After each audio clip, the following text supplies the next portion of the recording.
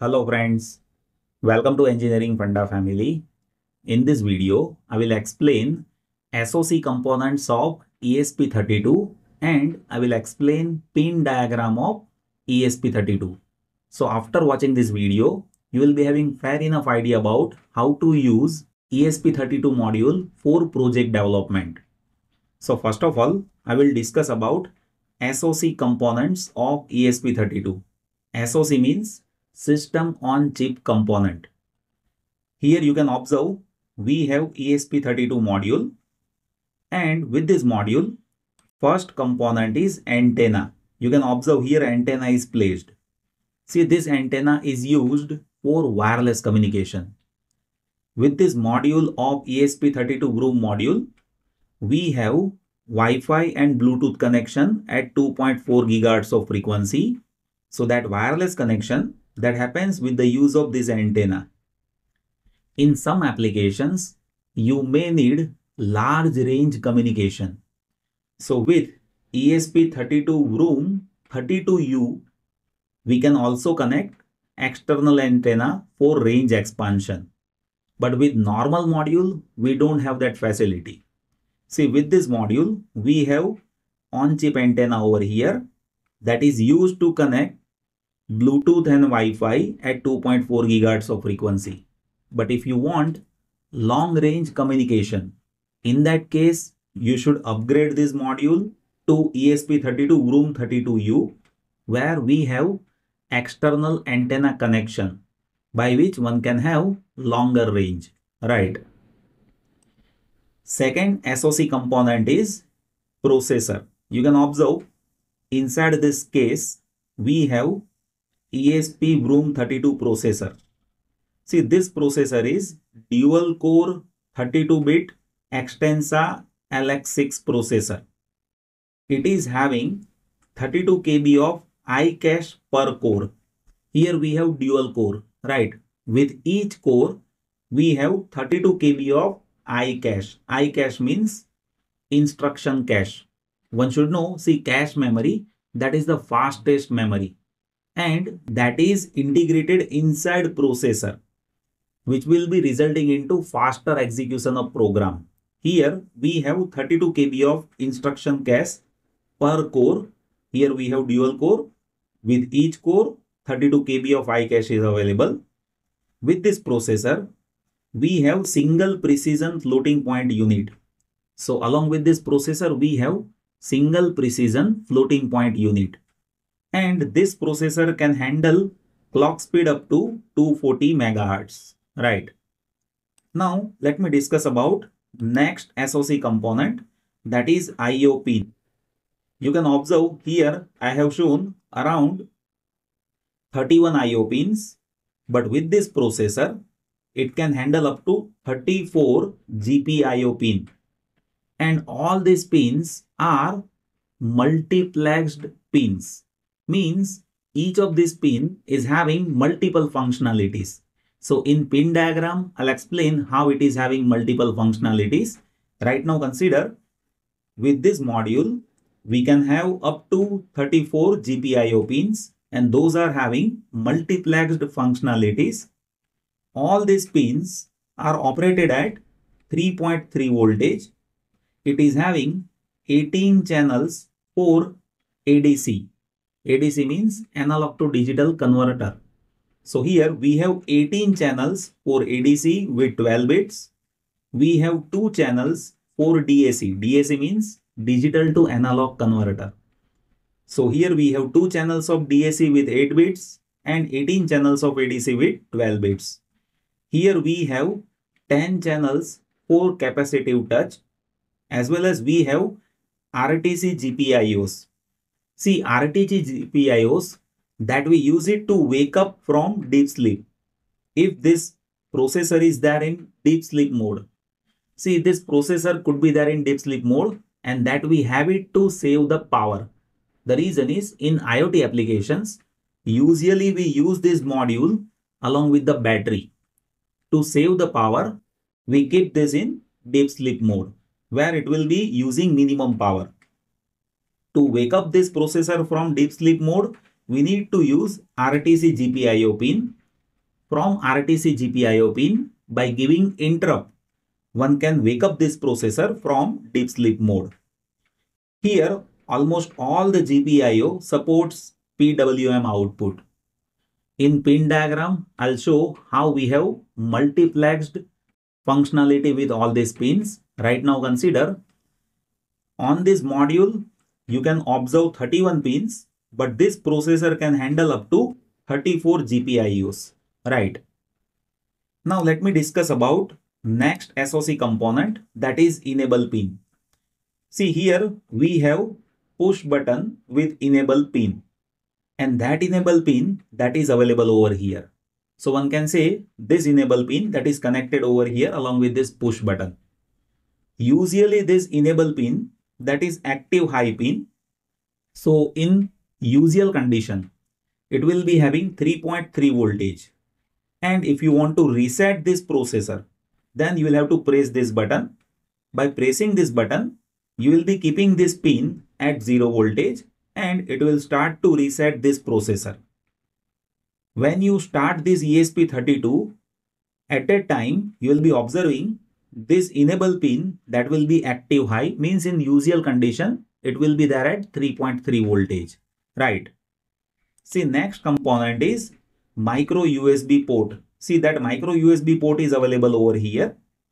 See this micro USB port that is having two functionalities. One is to program this module. If you want to load the program inside this processor, then you will have to use this micro USB port as well as this micro USB port that we need to use in case of power supply.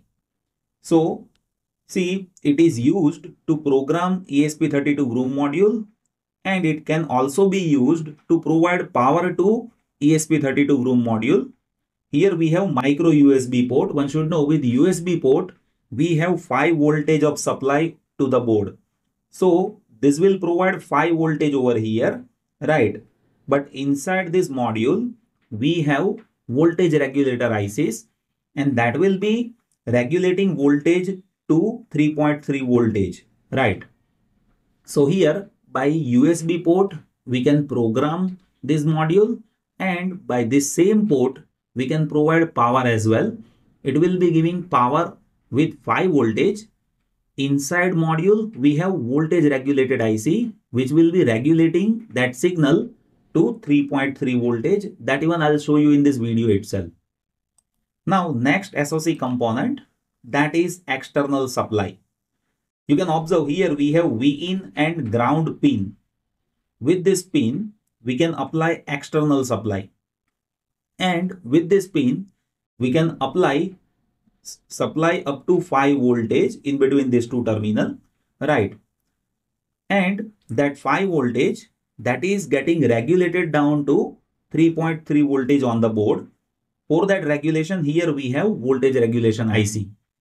That even I'll explain in this video itself. See, as and when you use this for IoT applications, for remote applications, we need to give power supply from here.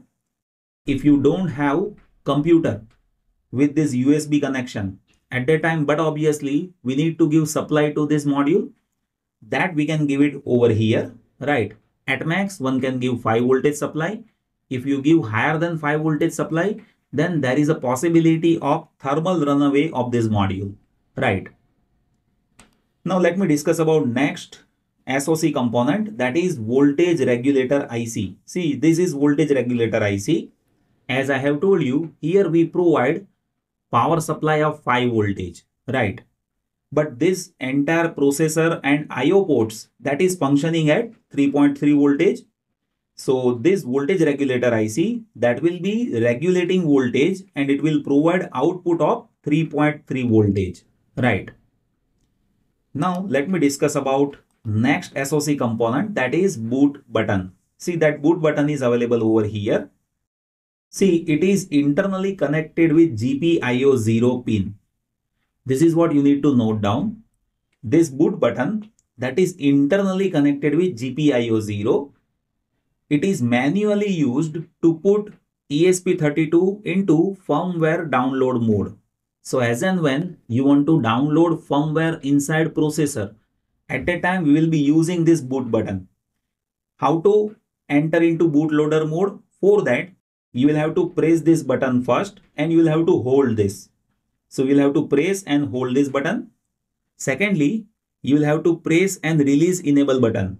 So here we have enable button that you need to press and release.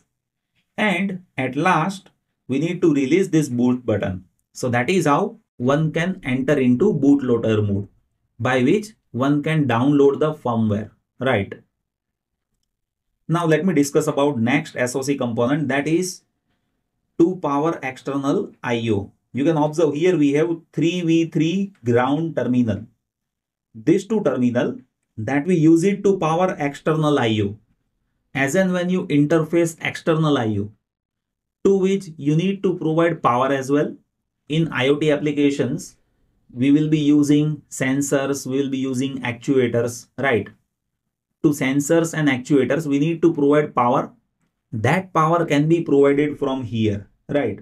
From this 3V3 and ground terminal. It will be providing supply of 3.3 voltage, right? Now let me discuss about next SOC component that is CP2102 bridge IC that is available over here. See this bridge IC that will be converting USB signals into UART signals for programming of ESP32. See here we have ESP32, here we have USB connection, right? USB signals are there at 5 voltage. We need to program this at 3.3 voltage. So this IC that will be a bridge, right? And this IC is also useful in serial communication.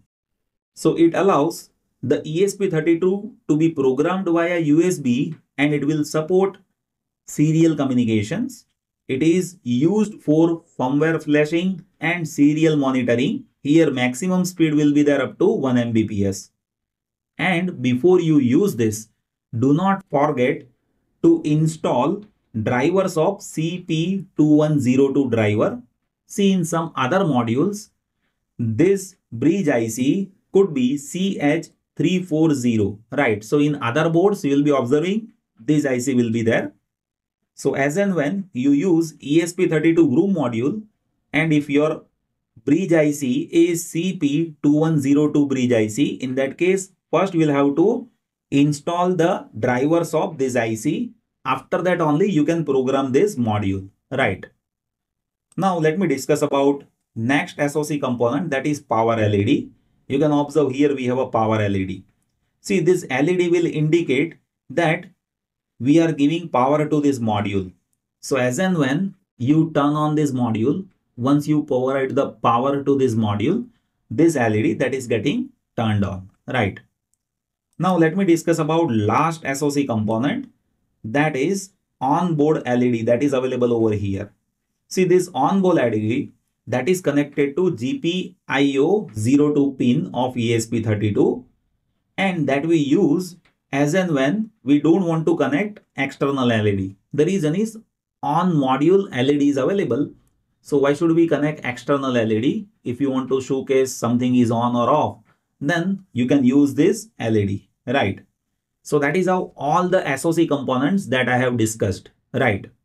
Now, let me explain pin diagram of ESP32 Wroom module.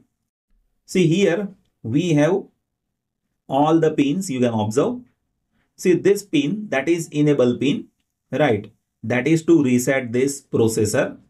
Here we have VIN and ground that we use it to supply this module right externally see if you don't have usb supply over here in that case we'll be using vin and ground by which we can provide external supply to this and to io if you want to provide supply then this module can provide a supply over here that is having voltage of 3.3 voltage right and other than that here we have gpio pins you can observe with this gpio pin we have multiplexed functionalities. Here you can observe multiplexed functionalities that is listed. Like see here we have ADC 1-0, ADC 1-3. So that is how ADC channels are there. right? Here we have sense VP and sense VN with this two terminal. See this sense VP and sense VN that we use it for Hall effect sensor. Using Hall effect sensor which is integrated with this module, one can detect electromagnetic field, right? And using Hall effect sensor, one can deploy many projects. See, these four terminals, those are input terminals only, right? So that is also mentioned over here. Here RTC GPIO 0, RTC GPIO 3, that is how things are mentioned. See this RTC GPIO pin that we use it to wake up this processor. As if this processor is there in deep sleep mode, then by giving external interrupt from these pins, we can wake up this processor. If you observe by this green color, I have mentioned touch 9, touch 8, touch 7.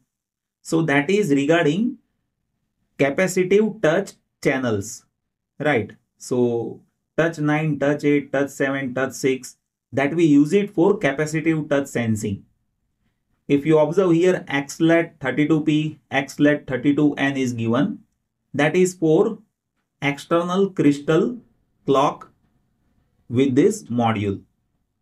Likewise, there are many other functionalities that is mentioned. Like you can observe here MOSI, SCL, SDA, MOSI, SCK, SS. So this terminals that one can use it for serial communication with SPI protocol. If you observe here we have TXD, RXD. So that one can use it for serial communication. Likewise, there are multiplexed functionalities that is available, right? And all these functionalities that one can understand by implementing some basic level projects.